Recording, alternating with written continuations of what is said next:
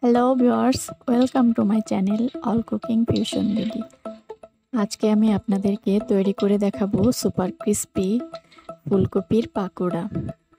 খুব সহজেই কীভাবে মচমচে ফুলকপির পাকোড়া তৈরি করা যায় আজকে আমি আপনাদেরকে সেই রেসিপিটি শেয়ার করব।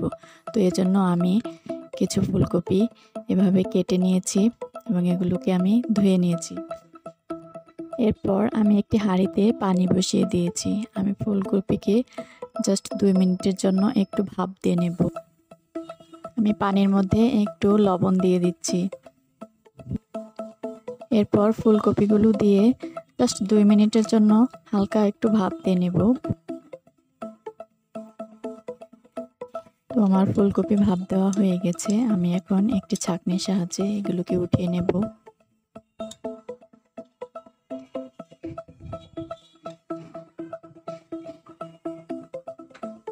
এরপর আমি ফুলকপিগুলোকে একটি বড় বাটিতে নিয়ে নিব। এর মধ্যে দিয়ে দেব স্বাদ অনুযায়ী লবণ।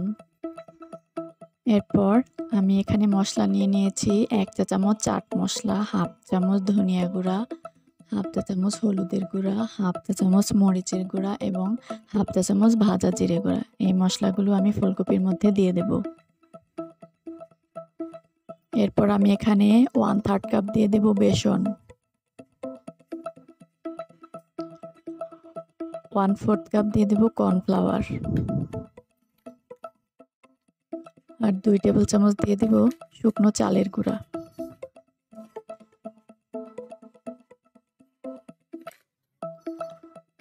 আর হাফ চা চামচ দিয়ে দিব বেকিং সোডা একটি পেঁয়াজ কুচি করে দিয়ে দেব আর দিয়ে দেব একটি কাঁচামরিচ কুচি। আমি এর মধ্যে সামান্য একটু চিনি দিয়ে দেব আর হাফ চা চামচ দিয়ে দেব আদা রসুন বাটা। এরপর আমি একটু একটু করে পানি দিয়ে সবগুলো উপকরণ খুব ভালোভাবে মিশিয়ে নেব। পানিটা আস্তে আস্তে দিতে হবে যাতে বেটারটা খুব পাতলা না হয়ে যায়। আমি খুব ভালোভাবে মশলাগুলোকে ফুলকপির সাথে মিশিয়ে নেব। আমার মেশানো হয়ে গেছে, আমি এখন চলে যাব এগুলো ভাজতে। এজন্য আমি প্যানে পর্যাপ্ত পরিমাণ তেল দিয়ে দিচ্ছি। তেলটা গরম হয়ে গেলে আমি চোলা রাসটা লো মিডিয়াম হিটে রেখে ফুলকপিগুলো দিয়ে দেব। তোমার ফুলকপিগুলো দেওয়া হয়ে গেলে আমি কিছুক্ষণ অপেক্ষা করব এক সাইড হলে, তারপর আমি আস্তে আস্তে এগুলোকে নেড়ে চেড়ে এপিট ওপিট করে লাল করে ভেজে নেব।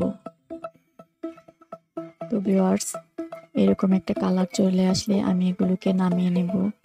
এভাবে আমি সবগুলো পাকোড়া ভেজে নেব।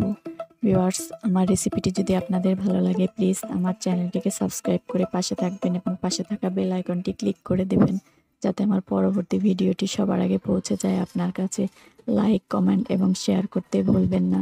আর যারা অলরেডি আমার চ্যানেলটিকে সাবস্ক্রাইব করে আমার পাশে আছেন, তাদেরকে অসংখ্য ধন্যবাদ। তৈরি হয়ে গেল দারুণ মজার মচমচে ফুলকপির পাকোড়া। খুব সহজেই যে কেউ এই রেসিপিটি তৈরি করে নিতে পারেন। আমার রেসিপিটি ট্রাই করে দেখতে পারেন, এতে করে ফুলকপির পাকোড়াগুলো অনেকক্ষণ মচমচে থাকবে এবং খেতেও অনেক মজার হবে। ভিওয়ার্স আমার রেসিপিটি দেখার জন্য সবাইকে ধন্যবাদ।